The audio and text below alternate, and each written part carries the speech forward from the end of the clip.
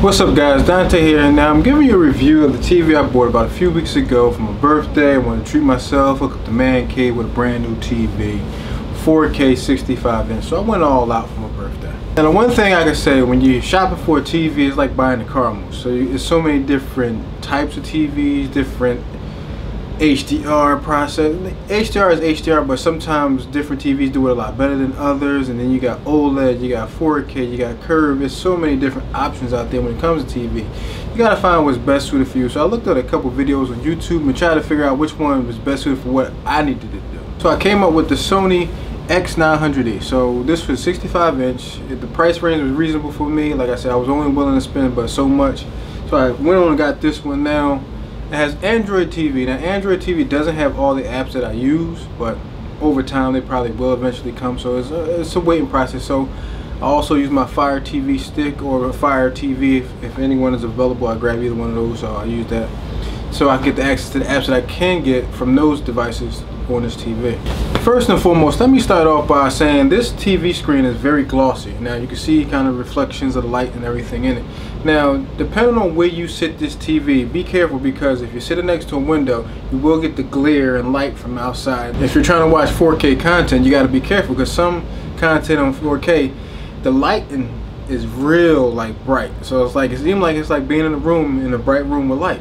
So the TV actually reflects like that. So you can kind of see your reflection in with the light coming in and the TV screen and it's like it's a mess. So depending on what kind of settings you use for this TV depends on how what kind of outcome you're going to get. Now I've been using the Cinema Pro because where I got it I use it keep it dark down here. It's like a movie theater like down here so I keep it dark most of the time. So Cinema Pro is perfect for that. It's real dim but if you're in the daylight or your room is real lit you might want to use uh, the standard setting or Cinema Home setting that may be a little whichever one works for you you gotta really play around with the uh, settings on this TV to really get what you're looking for out of this TV one of the issues I, I found that annoyed me at first now it kind of fizzled out but when I first got the TV I used the TVs on the app. Now the TVs on the app works perfectly fine. They all look fine. They look great on the 4K now, when I use my 4K Blu-ray player, some of the, like the Netflix app looked real grainy, the contrast wasn't that good, and like the coloring was just oh so unbalanced. So I didn't understand if that was a TV or that was a device problem. But over time, I, I guess that problem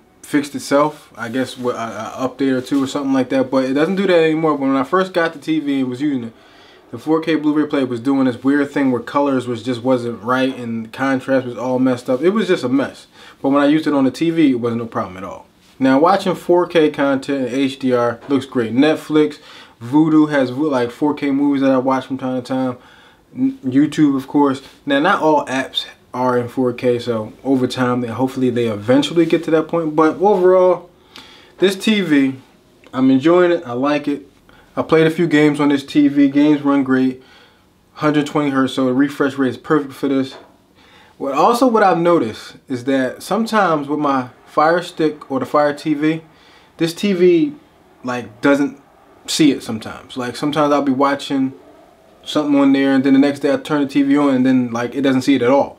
Even when I boot up the Fire TV or the Fire Stick, it just doesn't see it. it doesn't come up on the menu where you got your inputs at and things like that. It just doesn't see it. So I don't know if that's a the Fire Stick issue or the TV issue. Could be, you know, Sony makes the TV so they decided like only certain devices can work on here, like their PlayStation, like their Blu-ray players.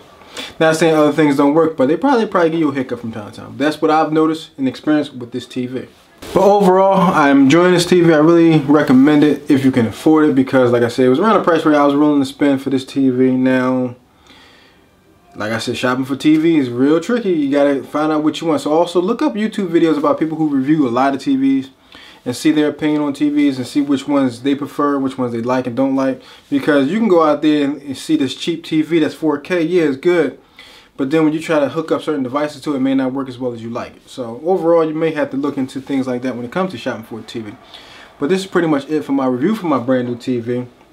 Stay tuned for more as far as things I'm going to be doing as far as the gaming and the video content and see just to see like to show you the difference between my other 4K TV and this one how different the pictures are as far as the HDR content.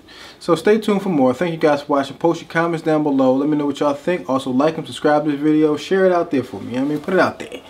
And thank you guys once again for staying tuned. Stay tuned for more. Thank you guys for everything. See you in the next video.